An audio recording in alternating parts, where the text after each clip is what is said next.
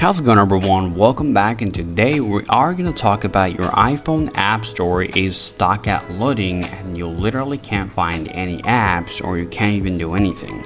If you keep getting the loading screen right on your iPhone App Store then here is how to troubleshoot it. Before you do anything else, first of all, you have to swipe down from the top here and enable airplane mode for about 20 to 30 seconds. After that, turn it off. At the very same time, you actually want to take a look at your internet connection.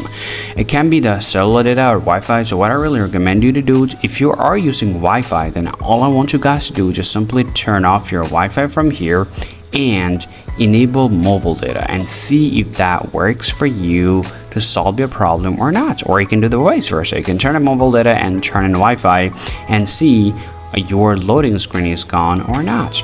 Now, after following this, the next thing that you want to do is actually restart your app store. Now, the question is, how do I do that?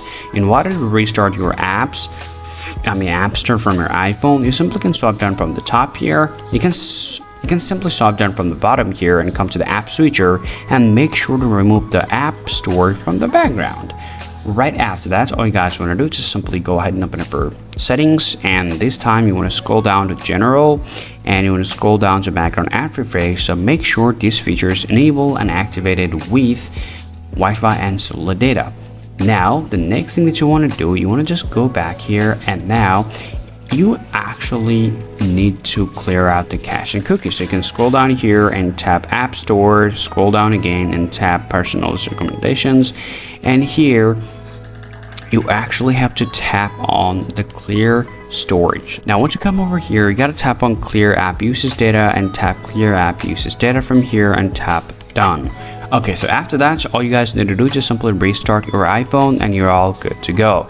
Now, most likely your problem is going to be solved after following these couple of steps, but still, if you have problems, last things you guys need to do on your iPhone, you gotta open up your settings in iPhone. First, you gotta open up your general. First of all, you have to take a look at your iPhone updates. If you found if there's new software available or update available, just go ahead and update it. However, if there's no update available, just go back here, scroll down and tap date and time. So make sure date and time is actually set automatically.